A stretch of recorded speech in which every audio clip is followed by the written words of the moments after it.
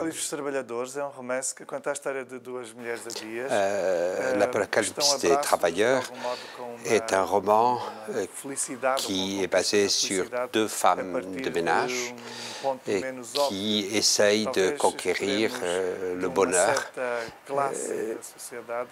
Et c'est évidemment un, sujet euh, qui n'est pas tout à fait évident dans la mesure où euh, nous n'attendons très rarement, nous attendons très rarement des, des populations les plus modestes, qu'elles soient glorieuses ou nous nous pensons rarement à leur propre bonheur.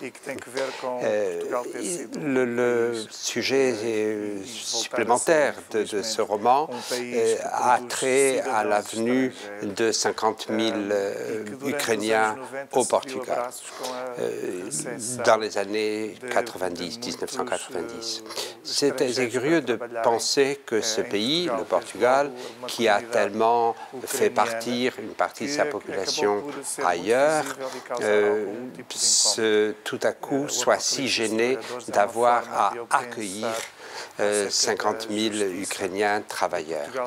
Euh, et cette, ce double, euh, ces, doubles circonstances, en fait, en font un roman que j'aurais voulu simple, mais sur une question extrêmement complexe, qui est l'accueil des étrangers et comment conquérir le bonheur d'une population de purs travailleurs. e que passa pelo preconceito e por esta desgraça contínua de não considerarmos o trabalhador alguém que hum, deve ver os seus direitos garantidos.